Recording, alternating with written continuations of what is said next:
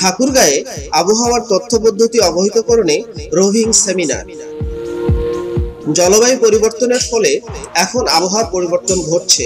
অসময়ে বৃষ্টি, বন্যা, খরা হচ্ছে। তাপমাত্রা ও আর্দ্রতার তারতম্য ঘটছে। আর এর প্রভাব পড়ছে ফসল আবাদে।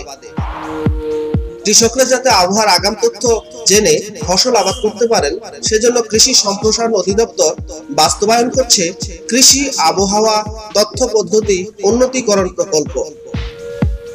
এই প্রকল্পের আওতায় ইউনিয়ন পর্যায়ে বৃষ্টিপাত রেকর্ড, তাপমাত্রা ও আর্দ্রতার পরিমাণ জানতে আবহাওয়া বোর্ড স্থাপন করা হয়েছে।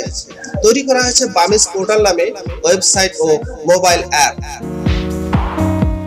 যে ওয়েবসাইট ও মোবাইল অ্যাপ ব্যবহার করে কৃষকরা আগামী সাত দিনের আবহাওয়ার পূর্বাভাস ও করণীয় সম্পর্কে বিস্তারিত জানতে পারবেন। এছাড়া কৃষকের ক্ষতি ও ঝুঁকি এড়িয়ে চাষাবাদ করে লাভবান হওয়ার জন্য নানা পরামর্শ পাবেন। একুশ জুন দুই হাজার বাইশ মঙ্গলবার কৃষি আবহাওয়া তথ্য পদ্ধতি উন্নতিকরণ প্রকল্প ও বামিস ওয়েবসাইট সম্পর্কে কৃষকদের অবহিত করতে ঠাকুরগাঁয়ের বীরগঞ্জ উপজেলায় এক রোভিং সেমিনারে এসব তথ্য জানানো হয়েছে।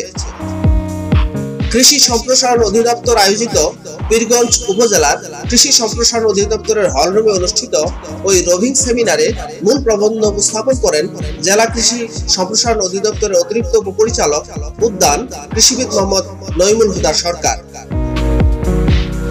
বীরগঞ্জ উপজেলা কৃষি কর্মকর্তা কৃষিবিদ রাজেন্দ্রনাথ রায়ের সভাপতিত্বে এতে প্রধান অতিথি হিসেবে উপস্থিত থেকে বক্তব্য দেন বীরগঞ্জ উপজেলা চেয়ারম্যান আলহাজ মোহাম্মদ আক্তারুল ইসলাম। বিশেষ অতিথি হিসেবে উপস্থিত থেকে বক্তব্য দেন যথাক্রমে বীরগঞ্জ পৌরসভার মেয়র, বীর মুক্তিযোদ্ধা মোহাম্মদ ইকরামুল হক। বীরগঞ্জ উপজেলা মহিলা ভাইস চেয়ারম্যান ভারতী রানী রায় প্রমুখ। সেমিনারে বীরগঞ্জ উপজেলার দশটি ইউনিয়ন ও একটি পৌরসভা থেকে আগত চুয়াল্লিশ জন কৃষক কৃষানি অংশগ্রহণ করেন।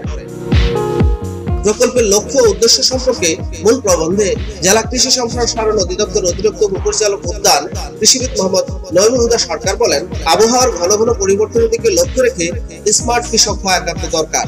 স্মার্ট কৃষক হতে কৃষক পর্যায়ে দৈনন্দিন ও আগামী সাত দিনের আবহাওয়ার তথ্য পৌঁছে দিতেই কৃষি সম্প্রসারণ অধিদপ্তরের এই প্রকল্প কাজ করছে। উপজেলা কৃষি কর্মকর্তা কৃষিবিদ রাজেন্দ্রনাথ রায় আগামী সাত দিনের সম্ভাব্য আবহাওয়ার তথ্য জানার পদ্ধতি, পরামর্শ প্রাপ্তি ইত্যাদি বামিশ পোর্টালে কীভাবে পাওয়া যাবে তা সরাসরি প্রজেক্টরের মাধ্যমে দেখান। Lutfar Rahman, social work TV.